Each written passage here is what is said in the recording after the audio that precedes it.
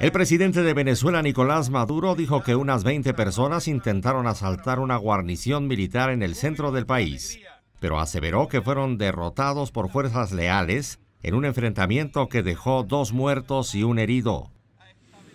Una operación financiada y dirigida desde Miami, desde Colombia.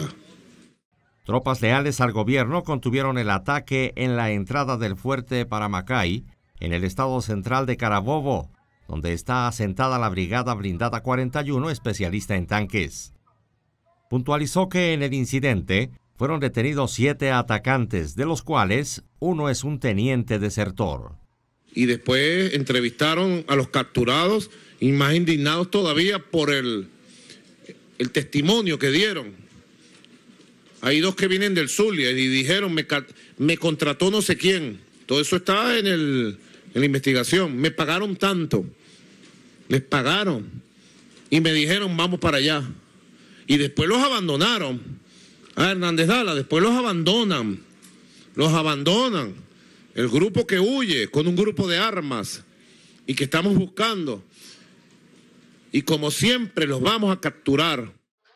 Según Maduro, en un video se muestran imágenes del autonombrado jefe de la sedición, el capitán de la Guardia Nacional Juan Caguaripano, que fue dado de baja de la Fuerza Armada hace tres años.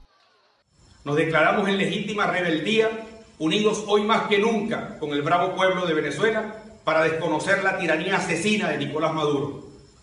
Aclaramos que esto no es un golpe de Estado, esta es una acción cívica y militar para restablecer el orden constitucional, pero más aún para salvar al país de la destrucción total para detener los asesinatos de nuestros jóvenes y familiares. Notimex.